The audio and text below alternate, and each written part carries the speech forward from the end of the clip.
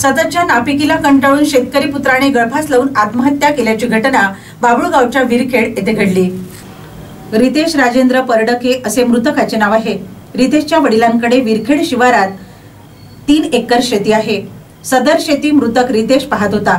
दरवर्षी नापिकी व शेतीत न होणारे उत्पन्न व त्यातच वडिलांनी खाजगी घेतलेले कर्ज ते कसे फेडायचे या विवंचनेत तो असताना वीस तारखेला पहाटे सहा वाजता दरम्यान भानुदास परडके यांची विरखेड शेतात लिंबाच्या झाडाला नॉयलॉनचा दोर बांधून आत्महत्या केल्याचे उघडकीस आले.